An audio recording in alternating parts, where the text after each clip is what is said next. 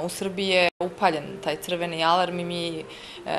pod hitno moramo da se pozabavimo ovim pitanjem i mislim da je formiranje ovog ministarstva e, i konačno u stvari e, dobijanje celog jednog resora koji se isključivo i samo bavi brigom o porodici i tim demografskim pitanjima, taj problem prepoznati na tom najvišem nivou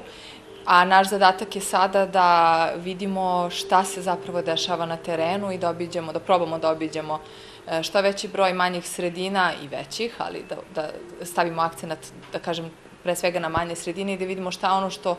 porodici u Srbiji e, nedostaje i šta je ono što mi zajedno kao sistem, kao država možemo zajedno sa lokalnom samoupravom da, da uradimo, da se porodici vrati ono mesto koje joj pripada, to je to centralno mesto u društvu. I uh, raduje me da, da smo danas ovde u Centru za brigu o porodici, centru koji je osnovala opština i koji jeste njihov lokalni projekat, nisu imali obavezu, nisu morali, ali su prepoznali potrebu i uh,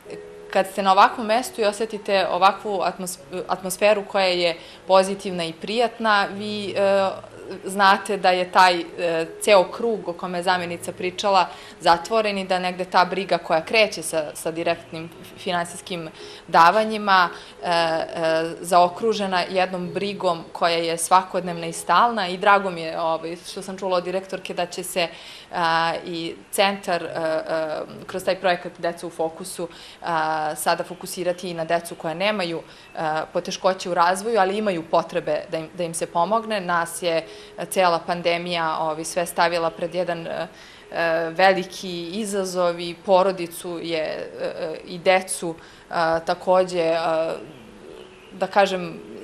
stavila ne samo pred izazov već u